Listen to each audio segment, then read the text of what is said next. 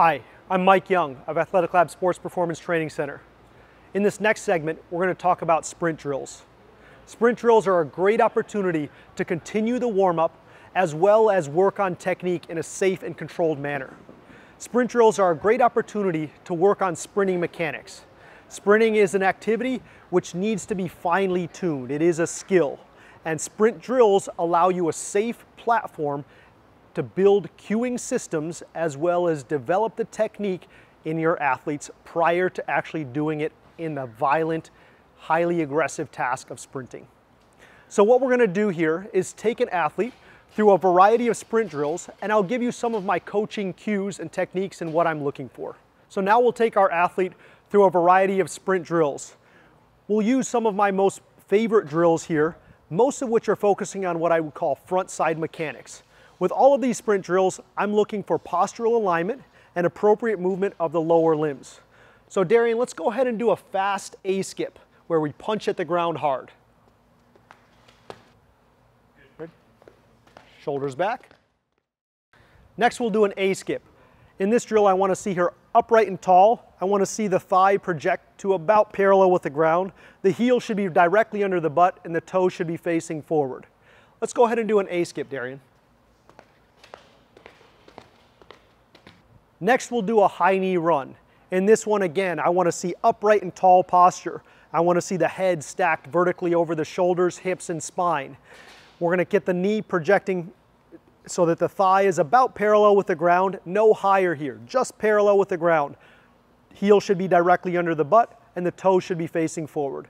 Let's go ahead and do a high knee run, Darian. So in those last three drills, we worked on what's called front side mechanics. We want to see the thigh mostly in front of the body. In efficient sprinting, that's what happens. We don't want to see the feet behind you. Most of your running is actually going to occur in front of you when we're trying to maximize speed. Now we're going to start to piece things together a little bit more and do what's called an alternating fast leg. So here, the rhythm is going to be shuffle, shuffle, step over. And now instead of just moving into that front side mechanic, now Darian is going to do a cyclic action with the leg. So let's go ahead and do a shuffle, shuffle, step over or alternating fast leg, Darian.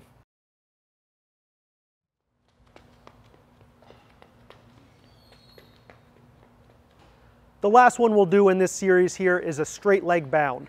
We can do this a variety of different ways. Sometimes I'll do it short and choppy, other times I'll do it wide and open. This is a great one for preparing the hamstrings for sprinting.